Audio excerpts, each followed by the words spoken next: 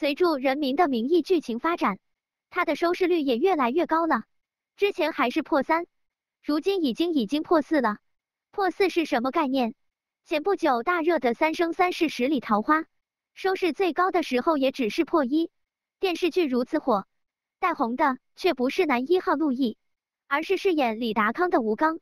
某宝上有很多达康书记的同款，很多人制作了达康书记的表情包。吴刚的微博粉丝也从十几万暴涨到一百多万，这一切都让人感觉很意外。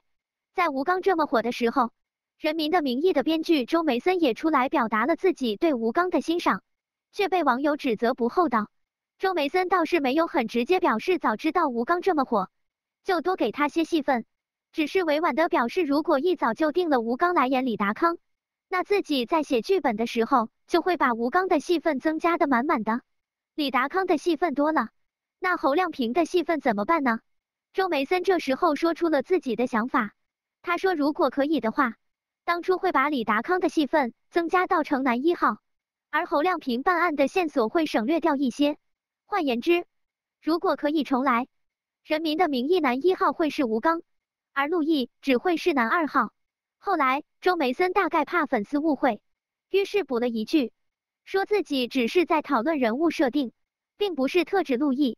大概周梅森这段话只是为了表达对吴刚的欣赏。不过当周梅森说完这句话的时候，导演李路却当场反驳他了，说电视剧根本就不会有假设，因为已经拍出来了。不得不说，李路这句话实在啊。现在确实说什么都晚了，如今懊悔谁的戏份多或少根本没意义，因为该红的已经红了。但周梅森还是坚持自己的想法，说这就是遗憾。看来没给吴刚做男一号，在周梅森心里真的是一个很大的遗憾。可是他这么说，跟吴刚的走红，难道一点关系都没有吗？很多网友听完编剧周梅森的话，纷纷指责他不厚道。毕竟，如果这部剧当时不是找陆毅这个老腊肉来主演，他的粉丝根本不会关注这部剧，甚至可以说很多人根本不会关注到这部剧。如今《人民的名义》红了，编剧却出来说早知道不把陆毅的角色写成男一号，这似乎真的有点过河拆桥的感觉啊！你们觉得呢？